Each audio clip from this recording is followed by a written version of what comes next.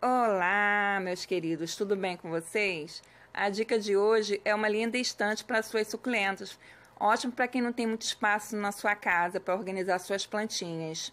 A única coisa que vocês vão precisar é de corda e tábuas. E eu vou deixar toda a lista do material na descrição desse vídeo. Vamos lá?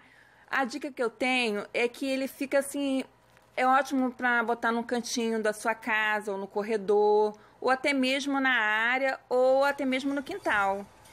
Aqui a gente está usando o betume, que é o betume da Judéia, para deixar com uma cor de madeira, uma cor mais viva. Mas você também pode somente pegar a tábua e invernizar com verniz incolor. Fica a seu gosto, né?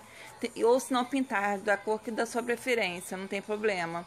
No caso, quando vocês forem pintar, pintar sempre na posição do veio da madeira, né? Do risco desse, dessa nervura da madeira, para ficar com aquele ar mais suave, né? Ficar uma coisa mais bem feitinha.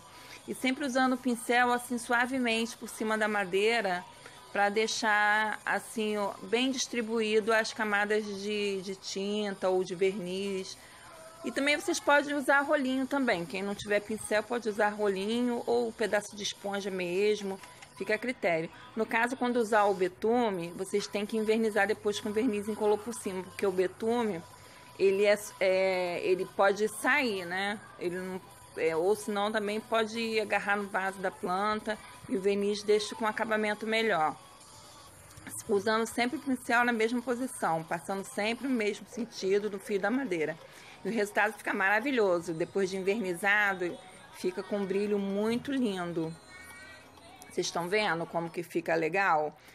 E aí a distanciamento dos nós da corda que vai segurar, ó, as tábuas.